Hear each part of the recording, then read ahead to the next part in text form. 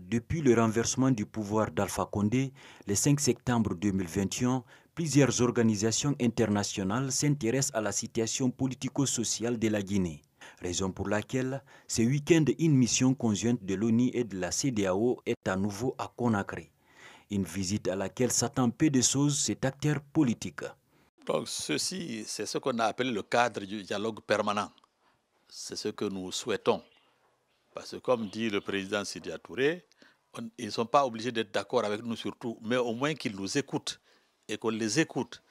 Lorsque vous parlez ensemble, ça évite des incompréhensions. Et en fait, dans le fond du problème, c'est ce que moi je demande au président Doumbouya, qu'il remette les pendules à l'heure, qu'il soit le héros qu'il a commencé le 5 septembre et qu'on travaille ensemble de fait de sorte que à la fin de la transition, qu'il sorte comme un De Gaulle de la Guinée. Parce que nous avons besoin aussi de héros.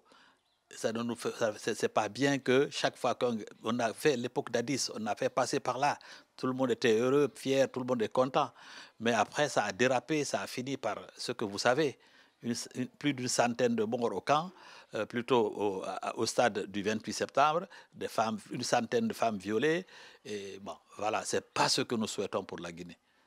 De même, Boubacar Sadio Baldé propose à ses émissaires d'engager un dialogue franc entre la classe politique et les membres du CNRD pour le bien de la nation. Ah, écoutez, c'est que la classe politique, je parle de la classe politique en général, parce que quand même il y a des plateformes avec lesquelles, dans lesquelles on échange. Mais pour ne parler que soit de l'UFR, que ce tous les partis politiques, ce qu'on demande, c'est d'abord de définir qui est CNRD. Parce que nous nous trouvons dans une situation gravissime. Le président Mamadi Doumbé a botté en touche. Bon, on le lui concède en disant que c'est toute l'armée guinéenne, les forces paramilitaires, les gendarmes, les, les policiers, que tout le monde est CNRD. Bon, on sait très bien que ce n'est pas tout le monde qui ont accès parce que la, décision suprême pendant cette période de transition revient au CNRD. Mais qui est dans le CNRD Aujourd'hui, on ne le sait pas. On voit des visages, on voit le président Mamadi Doumbouya, on voit son secrétaire général, on voit le commandant de la gendarmerie, M. Samoura, Bala Samoura. Grosso modo, on voit la fille euh, Aminata Diallo qui parle en tant que porte-parole, mais au-delà, on ne sait pas qui est CNRD. Autrement dit, il faut qu'ils nous définissent quels sont les gens qui dirigent le pays.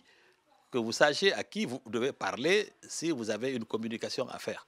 Bon, il y a cela, il y a la fameuse durée de la transition qui n'a pas été définie jusqu'à ce jour, et qu'on le veuille ou pas, la politique intéresse avant tout les politiciens. Bah, en fait, qu'ils intercèdent pour qu'on puisse se parler avec le CD et puis qu'on puisse se comprendre. Ces responsables politiques de l'IFR demandent au président Mamadi Doumbouya de privilégier les dialogues en cette période exceptionnelle. Franchement, je n'y crois pas trop. D'abord, eux, ils viennent parce que c'est, ils sont dans leur rôle. Dès le 5 septembre, au lendemain, ils ont dit, ils ont donné un délai de six mois, ce qui était assez léger. Ce n'est pas en six mois qu'on peut faire une, une transition. Donc là, nous arrivons aux six mois. C'est pourquoi cette mission. Cette mission vient juste après les six mois qu'ils avaient indiqués à la Guinée.